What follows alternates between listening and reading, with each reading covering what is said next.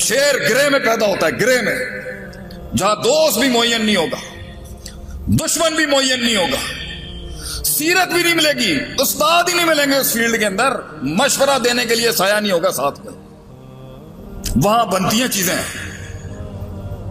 तो बड़ी बात है मेरे भाई, महफिल में कुछ ऐसी रूहें बैठी हैं, और मेरे बुज़ुर्ग भी बैठे होंगे, जिन्होंने फैसला किया, यार मैं ये ये नहीं, मैं, ये ज़िंदगी नहीं जी सकता।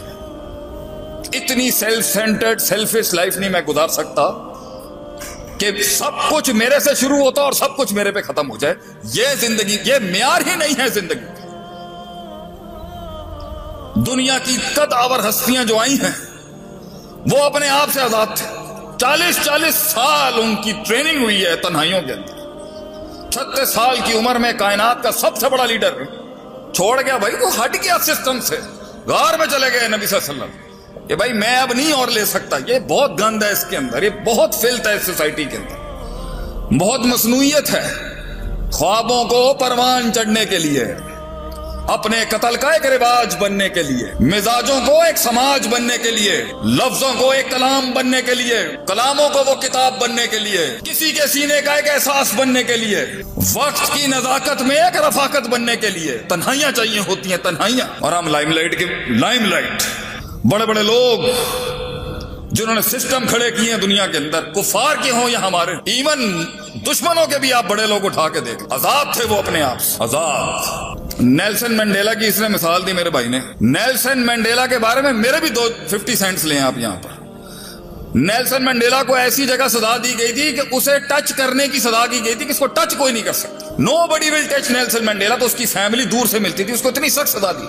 उसके जेलर ने कहा था उसके जेलर ने कहा था नेल्सन मंडेला कि मैं वो वाहिद शख्स हूँ मैं दुआ करता हूँ, तुझे सजाए मौत दे दी जाती। मैं दुआ करता हूँ, तुझे सजाए मौत मिल जाती। ये जो उन्होंने तुझे सजा दिया ना कि तू बैठा है यहाँ पर, तुझे छू भी नहीं सकता। ना तू किसी को छू सकता, ना कोई तुझे छू सकता। बीस साल के बाद जब वो मैदान में उतरा है ना, बीस साल के बाद जब वो मैदान में उतरा है, ऐसा फ्रेश था वो अपनी जंग के अंदर कि उसने पहले दिन आते साथी chief of army staff, chief of the chief of the security agencies, prime minister, जितने बड़े चौधरी बैठे हुए थे सिस्टम के, उसने पहले दिन आके बोला, gentleman sit down now I talk बीस साल तैयार था वो, बीस साल तैयार था कि उसने बोलना क्या? ये नहीं था, सानू पाँच साल बाद पाँच साल बाद रिहाई मिले, ऐसे तो ले लो जान के बीस साल भी वो रेडी था। आखिरी के जुमले में उसके बोलता हूँ कि उसकी पूरी ज़िंदगी की तारीख में वो आखिरी के अंदर ना एक फ़ील्ड में जा रहा था, एक फ़सल से गुजरते हुए उसने कहा था। उसकी बीवी से भी उसका इख्तलाफ हो गया एक बड़े कोर इशूज के ऊपर। जमात के कोर इशूज पे, मंशूर के बुनियादी रुकन शिक पर उसका इख्तलाफ हो गया बीवी के साथ, नेल्सन मंडेला। एंड में वो बीवी भी छोड़ गई बताओ क्या कहता कहता है इट्स अ लोनली वॉक ये लीडर की लीडर की जो ये वॉक ये लीडर की जो ये ये जो जर्नी है ना, ये जो सफ़र है ये तन्हाइयों का सफ़र है। कह रहा ये कह रहा ये सफ़र ही तन्हाइयों का ये बाजू मिलते हैं, जमातें बनती हैं, तरीके बनती हैं शराजी भाई। लेकिन एंड में ये दो टांगे होंगी जो जिसके ऊपर खड़ा होता है इंसान। इसलिए कहते हैं, दोस्ती टांगों से दिल लगा के करनी चाहिए। होंगे एंड में यही दो होंगी और कोई साथ नहीं खड़ा होगा। शुरुआत में भी ये टांगे अकेली होती हैं एंड में भी ये टांगे अकेली होंगी। लीडर को एक लेवल पे कोई समझ ही नहीं सकता कि वो क्या कर रहा है, क्यों कर रहा है। लेकिन बड़ी बात है कि अपने आप से आज़ाद हुआ और अपने आप से आज़ाद हो के कौम का हो गया, मुल्क का हो गया, एक फलसफे का हो गया, बड़ी बात ये बड़े सियासी, ये बड़े सियासी भाषण होते हैं जो हमें भी अब देने आ चुके अल्लाह कौम, मुल्क की हिफाजत करे। अल्लाह, ये ये सियासी बातें। अल्लाह, हम, कौम का हामी नासिर। ये सियासी बात। These are all political talks इन्हें। मैं थर के रेगिस्तानों के अंदर मारे खा रहा था, ये आप ही के वाले काम के अंदर। एक दिन एक दिन आप उस रेगिस्तान में, उस गाँव, एक गाँव में थर के अगर आप एक रात गुजार लेना, आटे, मैं कहता हूँ, पंजाब के लोगों को सुख है। मिजाज, पंजाब के लोगों के मिजाज देखे हमने। मैं खुद पंजाबी हूँ, लेकिन मैं बोलने में नहीं शर्म खाऊं। मिजाज है, क्यों? अमन है। कराची को यह अमन नसीब नहीं हुआ कभी। थर में आप जाए, आप हिल जाएँगे देख।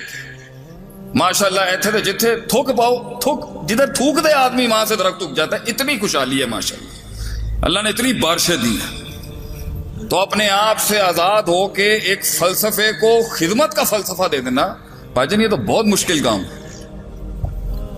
इस पे सबसे पहला आपकी फ़ील्ड में जो आपके ऊपर ताना आएगा ना, यार रहते है ही जक़ात खोर में। पहली तनकीद जो आएगी इस फ़ील्ड में आपको। मैं 2005 में जब मैं मदरसे जाने लगा तो बट साहब ने मुझसे पूछा,